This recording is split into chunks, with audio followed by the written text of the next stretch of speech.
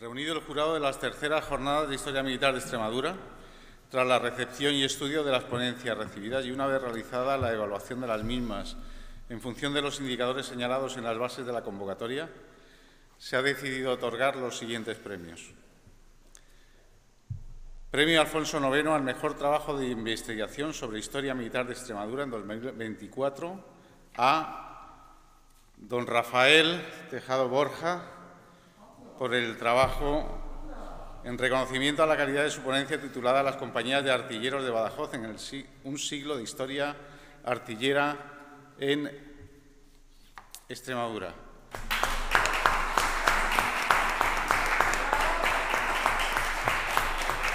Recoge el premio que le entrega el presidente de la Asociación Histórico Militar Alfonso IX,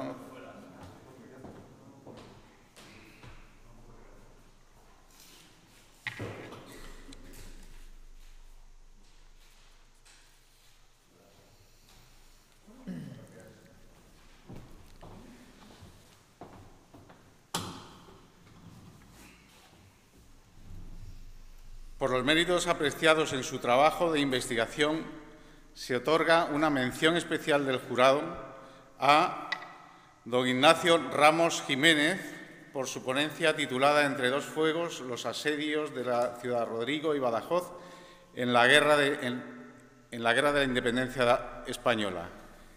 Entrega el premio en nombre de la Fundación Caja Badajoz, el presidente, el director de las jornadas, don Fernando Ortiz Martínez.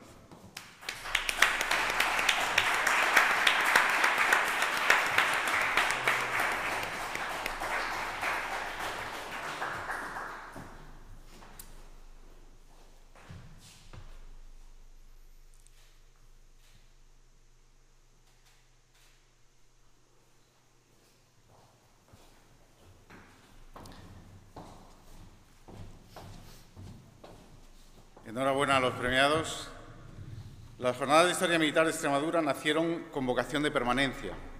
En esta su tercera edición y antes de proceder a su clausura, queremos hacer un reconocimiento público a las dos entidades que, con su generosa colaboración, han hecho posible su realización.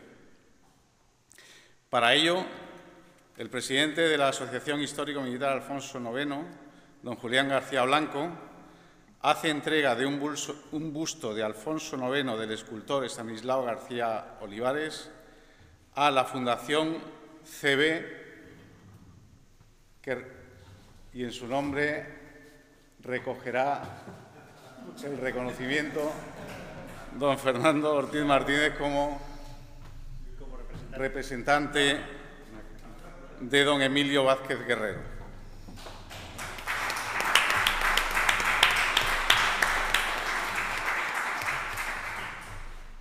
Y al coronel jefe accidental de la Brigada 11, don Vicente Aláez Torio.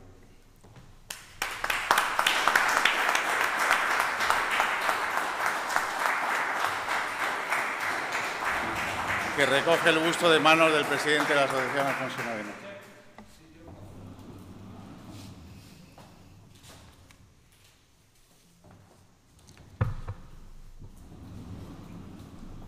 Para terminar, vamos a escuchar al presidente de la Asociación Histórica Militar, Alfonso IX, don Julián García Blanco. Bueno, buenos días, gracias a todos. Llega el momento de la clausura de la tercera jornada y de hacer un pequeño balance de las mismas. En primer lugar, pues es obligado mmm, destacar la calidad de las ponencias sin ánimo de ser elogioso porque parece que es obligación, sino que es la auténtica realidad, la nutrida asistencia, aunque hoy no es el día más adecuado para hablar de esto, pero eh, don Carlos nos puede, eh, nos puede certificar el gran éxito que están teniendo vía, vía online y eh, el interés que suscita desde luego la historia militar en esta ciudad. Por otro lado, y esto es muy importante, o entiendo por lo menos que es muy importante, la celebración de la jornada en el Palacio de Capitanía eh, constituye un valor añadido y contribuye, eh, sin lugar a duda, a que este emblemático edificio sea conocido y apreciado por los badajocenses. Asimismo, ha servido de punto de unión y de punto de encuentro y debe servir para esto entre militares y civiles. Eh, terminadas las terceras jornadas, pasamos a preparar las cuartas, que no dudamos tendrán el mismo éxito que las que hoy clausuran. Solo me queda agradecer a los ponentes su generosidad, felicitarles por sus trabajos, especialmente a los premiados, agradecer la presencia de todos ustedes y emplazarles hasta las próximas jornadas.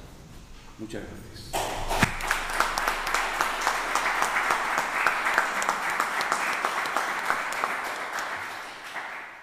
Las jornadas de Historia Militar de Extremadura 2024 han finalizado. Muchas gracias a todos por su asistencia.